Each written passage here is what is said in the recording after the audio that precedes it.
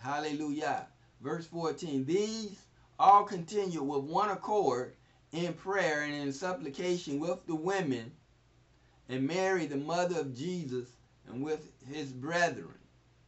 And so they were on one accord, like the scriptures. The scriptures are on one accord Old Testament and New Testament. All of these people are Hebrew Israelites of the seed of Abraham. All 12 tribes, every last one of them. That's who these people are. The disciples, Mary, the mother of Jesus, she's a Hebrew Israelite, and all the Jesus' brethren. the Hebrew Israelite. Everybody in the scriptures that pertain to the gospel of the kingdom are Hebrew Israelite. Even when the scripture talks about the woman at Samaria, the woman at the well, who was a Samaritan, she was a Hebrew Israelite.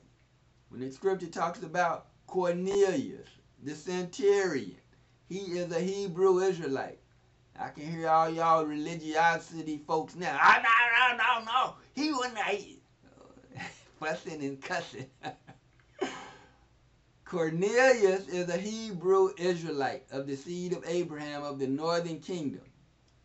Like the Apostle Paul. The Apostle Paul is a Roman citizen, but he's a Hebrew Israelite of the seed of Abraham of the tribe of Benjamin. He was a Roman citizen, but he was still a Hebrew Israelite. So Cornelius is a Roman citizen, but he's a Hebrew Israelite.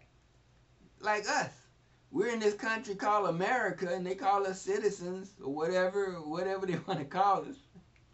But we're a Hebrew Israelites. They're not going to tell us that. So what am I saying? You got to reclaim your, your birthright. You got to reclaim your heritage because they're not going to just call you what you are. They're going to call you what they call you, what they call you, what they want to call you. We told y'all y'all African Americans. And so that's what you go by. Well, the scripture says that we're Hebrew Israelites. So that's what I'm going by. Hallelujah. Amen. Can I get a witness?